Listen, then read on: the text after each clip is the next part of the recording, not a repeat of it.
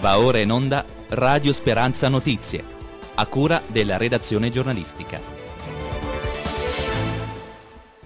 Buona giornata a tutti voi da Massimiliano Spiriticchio in studio da tutti noi di Radio Speranza in Blu, la radio della Chiesa diocesana di Pescara Penne. Sono 3.590 i nuovi casi positivi al Covid registrati ieri in Abruzzo, dove il bilancio dei pazienti deceduti non registra nuovi casi e resta fermo a 3.387. I dimessi o guariti sono 670 in più, gli attualmente positivi 2.920 in più.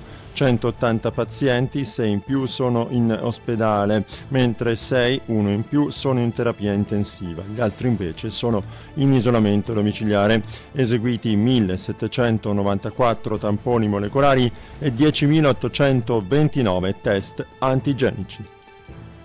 Lo sgombero della palazzina di Via Lazio a Montesilvano rappresenta un momento storico che ci sta consentendo di restituire dignità e vivibilità a un'area centrale e sensibile della città di Montesilvano a due passi dal mare e ai suoi residenti esasperati da presenze abusive e dal degrado abnorme della struttura. Abbiamo voltato pagina mentre polizia, vigili urbani e istituzioni di Montesilvano provvedevano all'allontanamento dall'edificio degli ultimi abusivi, il comune di Pescara ha coadiuvato l'intervento della ditta che ha iniziato a murare con ferro e cemento eh, armato gli alloggi di nostra proprietà, rendendoli inagibili, eh, rendendo inagibili i servizi e staccando tutte le utenze. Da oggi ci sarà anche un servizio di vigilanza armata per impedire future rioccupazioni e nei prossimi giorni, come preannunciato, provvederemo a pubblicare l'avviso di interesse per la vendita della nostra porzione di edificio al prezzo a base d'asta di 1.400.000 euro. Lo ha detto l'assessore alla politica della casa del comune di Pescara, Isabella del Trecco, che ha presieduto le operazioni di sgombero dei 14 appartamenti di Via Lazio e Montesilvano, sette dei quali eh, sarebbero stati occupati da due persone, gli altri invece da famiglie eh, numerose per le quali è stato eh, per gli occupanti di questi edifici è stato eh, predisposto l'accompagnamento in strutture idonee e nei prossimi giorni appunto si valuterà eh, il da farsi sulla eh, situazione. La società pretuziana di Teramo gestirà le piscine e le Naiadi di Pescara per un altro anno. Nelle ultime ore la Regione Abruzzo ha ufficializzato, come annunciato dalla stessa società sportiva, la proroga di un anno del bando di gestione degli impianti. Abbiamo rimesso in sesto la struttura, spiega eh, Domenico Narcisi, che è il direttore generale della Pretuziana, e quindi prevediamo, ha aggiunto delle ottime cose per la seconda parte del 2022 e fino al prossimo agosto.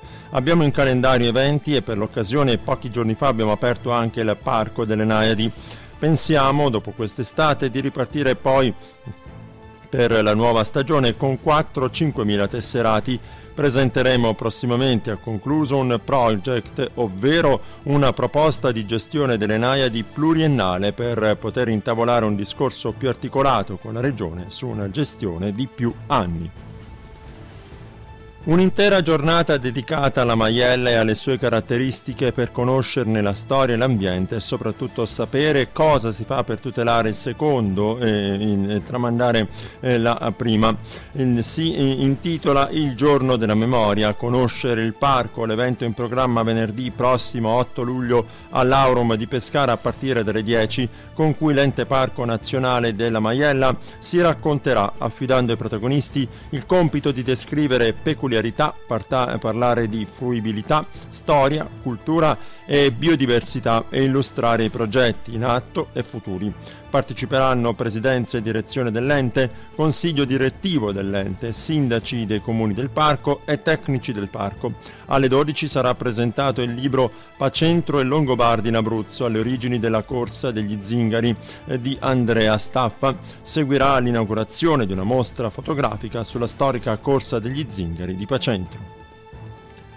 Un incendio è divampato nelle campagne di Marina di Città Sant'Angelo al confine con il territorio di Silvi a ridosso del fiume Piomba ieri pomeriggio. Sul posto eh, operative due squadre dei vigili del fuoco del comando provinciale di Pescara.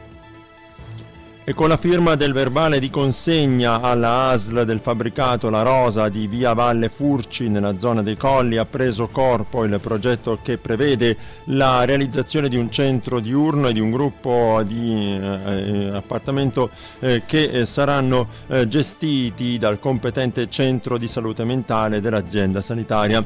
Il documento che segue il contratto di concessione in uso dell'immobile risalente allo scorso 23 giugno è stato sottoscritto dal sindaco di Pescara Carlo Masci e dal direttore generale della Vincenzo Ciamponi alla presenza dell'assessore comunale al patrimonio Maria Rita Carota, della dirigente comunale di settore Federica Mansueti, di Antonio Busic e eh, Alessandro Di Giovanni, rispettivamente direttore e funzionario dei servizi tecnici manutentivi della.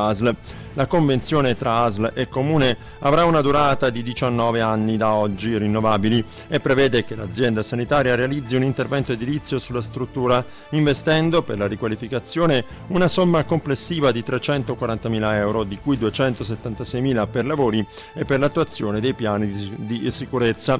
In cambio la stessa ASL godrà di un canone di locazione abbattuto a 30.596 euro all'anno al netto delle spese eh, eh, scomputabili ammontanti, eh, che ammontano a 224.000 euro. Una formula già usata in operazioni simili come quella tuttora in corso di recupero di un immobile comunale nell'area del Consorzio Eternum per realizzare la sede del servizio 118.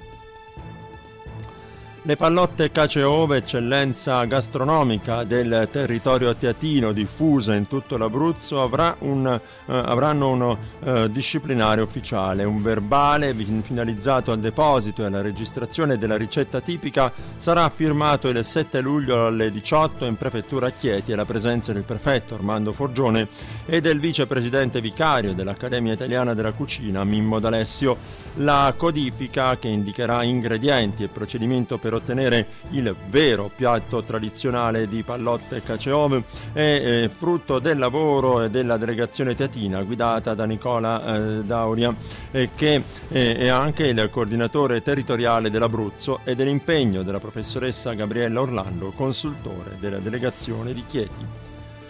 E veniamo alle eh, previsioni del tempo. Sull'Abruzzo si prevedono condizioni iniziali di cielo sereno poco nuvoloso, specie al mattino, mentre nel pomeriggio nel tardo pomeriggio sono attesi annuvolamenti lungo la dorsale appenninica, con rovesci e manifestazioni temporalesche che potranno estendersi verso l'Aquilano, la Valle Peligna e sulle zone pedecollinari che si affacciano sul versante adriatico.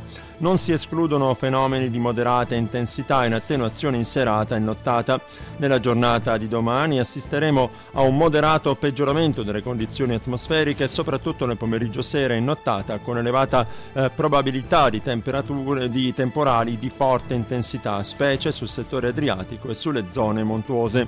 Temperature in lieve diminuzione rispetto ai giorni scorsi, tuttavia il caldo e l'afa verranno spazzati via soprattutto tra domani e dopodomani. Venti deboli, mare poco mosso al mattino con moto ondoso in aumento dalla tarda mattinata. I dati sono di abruzzameteo.org. È tutto, grazie per averci seguito. A risentirci.